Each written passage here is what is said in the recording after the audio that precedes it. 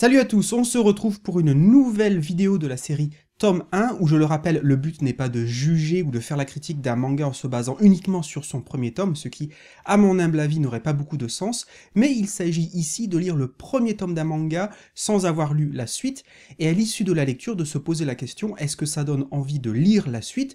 Est-ce que ça donne envie d'acheter la suite? Et aujourd'hui, on va se pencher sur le premier tome de la nouvelle série de Tsutomu Nihei, Aposims.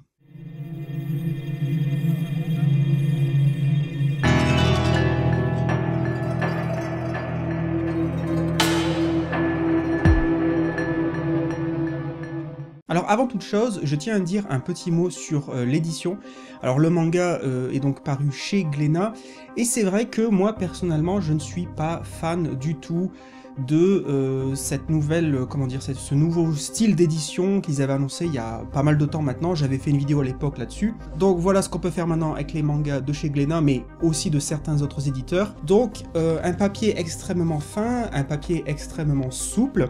Alors certes, ça peut être pratique le jour où on déménage et on a des centaines de mangas à trimballer, mais c'est vrai que moi, je n'aime pas ce sentiment d'avoir entre les mains un produit très cheap, autrement dit un produit euh, médiocre ou bas de gamme. Euh, certes, euh, il est très léger, mais cette ultra souplesse fait que moi j'ai plus la sensation d'avoir à la limite un magazine entre les mains plutôt qu'un livre. Je sais que c'est totalement subjectif, mais je tenais quand même à, à dire un mot là-dessus. Et c'est dommage, je trouve, surtout qu'il y a d'autres éditeurs qui font des efforts pour nous fournir des éditions vraiment, certes, un peu plus chères, mais euh, qui ont cette, comment cette qualité de produit vraiment euh, fini, solide. Je pense aux Lézard Noirs, je pense à Cornelius, etc. etc.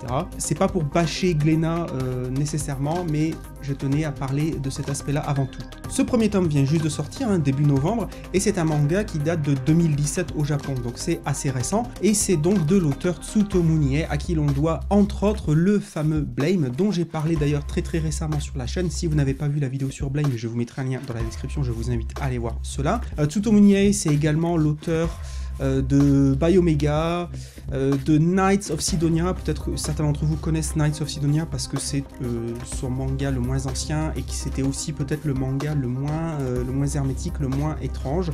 Alors Aposims, de quoi ça parle? Eh bien c'est un manga de science-fiction, hein, comme on pouvait le deviner avec cet auteur, puisque c'est son style de prédilection. Et dans ce premier tome, dès le départ, on nous explique que Aposims, c'est un astre artificiel qui fait 120 000 km de diamètre, et l'histoire commence 5000 ans après euh, une guerre, après la fin d'une guerre. Cet astre se compose de trois parties. En son cœur, protégé par une méga structure, vous avez eh bien, euh, les éléments qui permettent de contrôler entièrement l'astre. C'est donc le cœur de l'astre dans tous les sens du terme, mais c'est également l'endroit qui est inaccessible par tous les gens ou par toutes les choses qui se trouvent à l'extérieur de ce cœur. Autour de ce cœur, il y a une couche supplémentaire qui est là où habite et aussi c'est l'endroit contrôlé par un empire, hein, une espèce d'empire un petit peu à la Star Wars pour euh, schématiser grossièrement, mais c'est la force militaire en tout cas de cet univers. Et puis la troisième couche, eh bien c'est tout simplement la surface de l'astre, qui est plus ou moins un no man's land, un endroit relativement désertique, froid, où il neige a priori en permanence, recouvert de neige, euh, recouvert euh, de ruines, de vestiges, etc. Et c'est à la surface que nous avons les habitants qui ont l'air en tout cas les plus normaux, les plus humains, et qui se contentent de survivre en euh, cherchant de la nourriture et qui habitent dans des petits villages à l'aspect troglodyte. Voilà, ça c'est pour le contexte, mais que se passe-t-il dans ce manga? Eh bien, au tout début, nous suivons un groupe qui appartient aux habitants de la surface, ils sont en train de chasser, de cueillir, enfin bref, de chercher de la nourriture dans ce monde relativement désertique, lorsqu'ils voient au loin une jeune fille, ou en tout cas ce qui semble être une jeune fille, être poursuivie par deux soldats de cet empire. Pour sauver la jeune fille, ils vont s'interposer et ils vont aller jusqu'à tuer les soldats. Ils vont ramener la jeune fille à leur village. Malheureusement, cet acte de gentillesse, voire de bravoure, va se retourner contre eux et l'Empire évidemment va prendre note de leurs actions et va se diriger vers leur village afin de les attaquer et surtout afin de récupérer cette mystérieuse jeune fille. Mais un élément très important se rajoute à tout ça, effectivement dans, cet univers, dans ce monde, ou en tout cas sur cet astre, il y a une espèce de maladie étrange, une espèce de contagion étrange qui fait que beaucoup de gens se transforment en marionnettes, en tout cas c'est le terme employé dans l'histoire. Quelle est cette affection Quelle est cette maladie? Eh bien, ce sont des gens qui se transforment en des espèces de cyborg, mutant, hmm, voilà, c'est un peu difficile à expliquer et surtout dans ce premier temps on n'a pas encore toutes les clés de compréhension. La plupart des gens qui sont atteints par ce mal ne survivent pas, à l'exception de quelques personnes qui lorsqu'elles se transforment en marionnettes, eh bien elles ne sont plus humaines mais elles acquièrent des certains euh, pouvoirs notamment pour se battre. Donc au travers de tout cet aspect concernant les euh, marionnettes, eh bien, se rajoute un aspect qui fait penser un petit peu à des histoires de super-héros, ou en tout cas, moi, étant un vieux de la vieille, qui m'a rappelé notamment l'animé des années 90, euh, Guyver, les plus vieux d'entre vous sauront de quoi je parle. Voilà, je vais m'arrêter là pour le synopsis, mais qu'en est-il du dessin? Eh bien, pour ce qui est du dessin, euh, le manga a la spécificité d'utiliser presque exclusivement le blanc. C'est-à-dire il y a très très très peu de, moments ou de personnages où on voit du noir, euh, c'est-à-dire des, des, personnages euh, tout simplement avec de l'encre noire. On a quelques personnages qui utilisent du gris, mais la plupart des personnages et des décors, c'est du blanc. On a l'impression que le dessin n'est pas rempli d'encre d'une certaine manière. C'est assez étrange, il faut s'habituer. En tout cas, ça a le mérite d'être original. Potentiellement, ça peut dérouter parce que ça peut laisser l'impression que le dessin, d'une certaine manière, est inachevé. À plus forte raison parce que euh, l'auteur n'appuie pas du tout ses traits et le dessin, dans l'ensemble, donne un petit peu l'impression d'être un croquis par moment. Euh, un dessin en cours de fabrication, si je puis dire. Toujours en parlant du dessin, eh bien, on reconnaît immédiatement le style de Tsutomu Nihei parce qu'il nous offre eh bien, pas mal de cases où on aura une mise en avant euh, des décors par rapport aux personnages. Donc on a des plans euh, larges, des pleines pages, où on voit les personnages euh, comme étant vraiment minuscules et il est évident que le focus est fait sur l'environnement, sur le décor, que ce soit des scènes plus ou moins désertiques ou des scènes dans des, dans des bâtiments. Cher à lui-même, l'auteur nous offre aussi une de ses thématiques qui est celle de la fusion des corps, donc euh, les corps avec euh, les machines, les corps avec la technologie. C'est quelque chose qui est vraiment récurrent dans ces mangas et une fois de plus ici il nous offre une belle tranche euh, d'imagination, notamment au niveau de la représentation de ces fameuses marionnettes et aussi de la transformation de certains humains en marionnette. Alors avant de répondre à la question est-ce que ça donne envie de lire la suite, est-ce que ça donne envie d'acheter la suite, je vais vous proposer mes points positifs et mes points négatifs pour ce premier tome. Alors mon premier point positif, ça peut paraître euh, comme une évidence, mais euh, pour moi, c'est le plaisir tout simplement de retrouver Tsutomu Nihei, car c'est un auteur à part, je pense, dans le paysage des mangas. C'est un auteur dont on n'entend pas forcément souvent parler.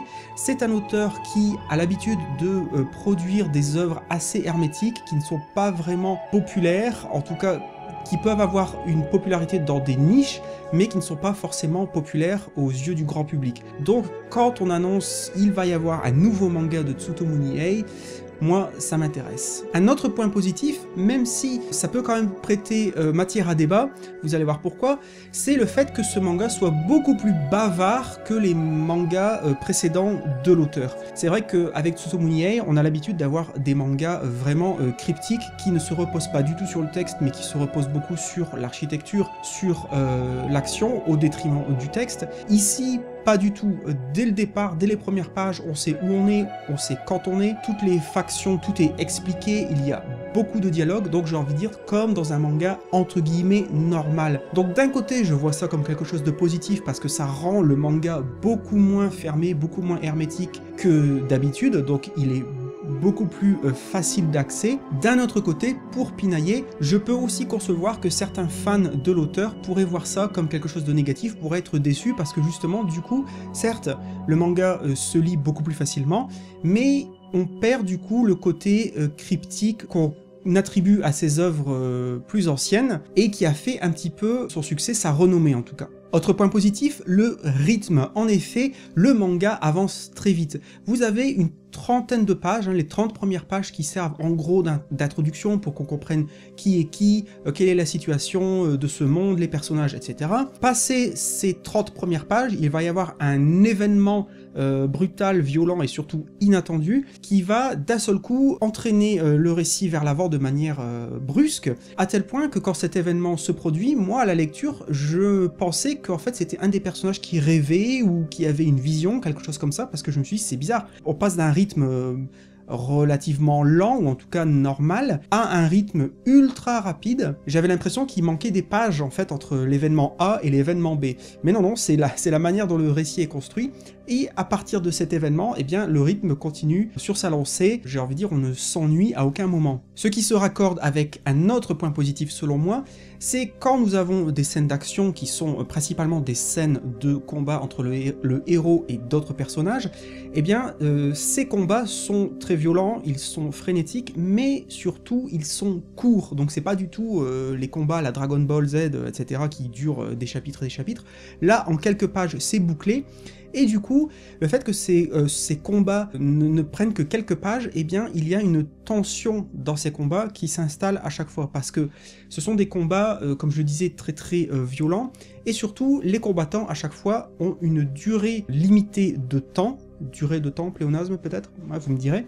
En tout cas, ils ne peuvent pas se battre pendant 107 ans pour des euh, questions techniques, sans vouloir euh, vous en dire davantage. Et du coup, eh bien, euh, tout ça, ça fait que on est vraiment pris dans ces combats, et on sent que chaque combat, eh bien, il n'y aura pas de prisonnier d'une certaine manière, il n'y aura pas d'armistice, c'est où on gagne, où on meurt.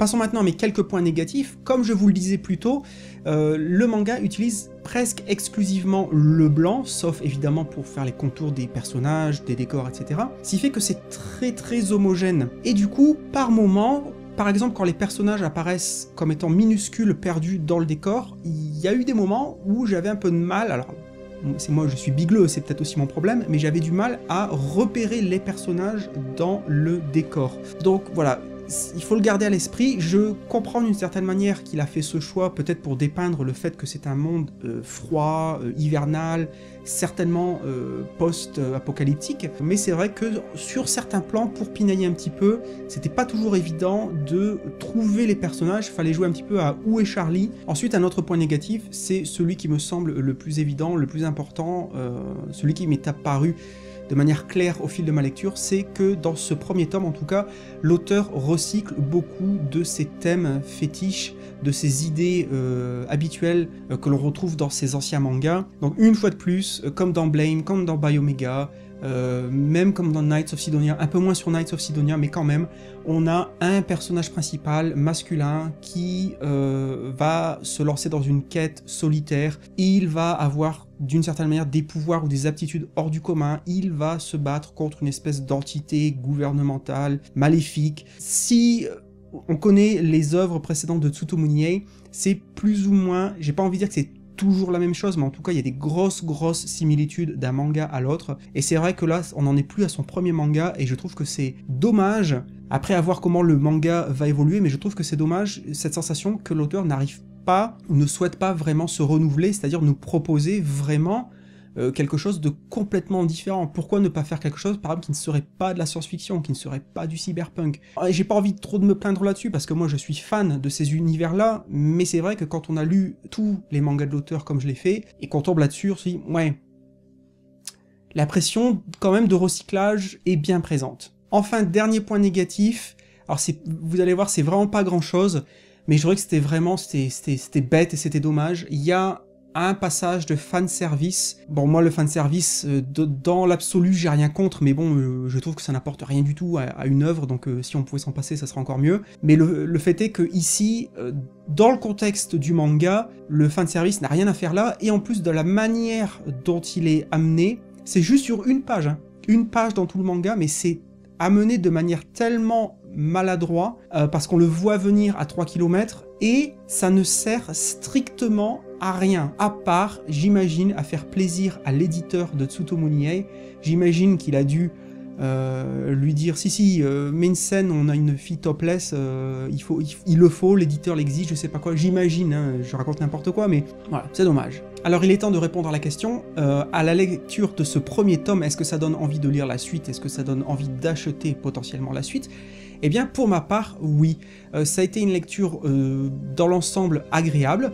J'ai été surpris que le manga soit aussi euh, bavard, aussi verbeux, mais dans l'ensemble, je suis encouragé vraiment à, voilà, à lire la suite. Surtout que ce premier tome se finit sur une espèce de cliffhanger où on voit un personnage des plus bizarres, des plus étranges qui observe au loin notre héros et on se dit c'est qui ce mec, qu'est-ce qu'il fait là? L'univers qui est présenté sans être super original est quand même intéressant. Cette histoire de transformation en marionnette on sait pas trop encore ce que c'est, est-ce que c'est vraiment une maladie, est-ce que c'est pas quelque chose plutôt qui a été programmé par cet empire un peu militariste euh, maléfique? Malgré le fait que le manga soit beaucoup moins cryptique que d'habitude, il y a quand même pas mal de euh, questions en suspens, donc euh, oui, je suis sûr, j'achèterai la suite. Et eh bien voilà, c'est tout pour moi pour cette fois, pour ce premier tome de Apo Sims.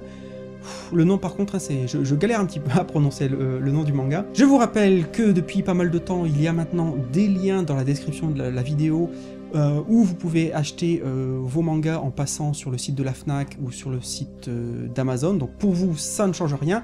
Mais pour moi, eh c'est un moyen passif de soutenir la chaîne si vous le souhaitez, et si vous le souhaitez uniquement, il n'y a bien sûr aucune obligation. Je vous remercie énormément, comme d'habitude, d'avoir regardé cette vidéo, j'espère qu'elle vous aura plu. Si vous avez lu le premier tome de Apo Sims, eh bien dites-le moi en commentaire, sans faire de spoil pour les autres personnes s'il vous plaît, mais dites-le moi, dites-moi ce que vous en avez pensé. Est-ce qu'il y a des mangas de Tsutomu que vous aimez particulièrement si oui, pourquoi? Voilà, dites-moi tout ça en commentaire, je me ferai un plaisir comme d'habitude de vous lire. Une fois de plus, je vous dis un grand merci d'être là, d'avoir regardé cette vidéo dans son intégralité, et je vous dis à très très bientôt pour une nouvelle vidéo sur Oroyo Manga. Ciao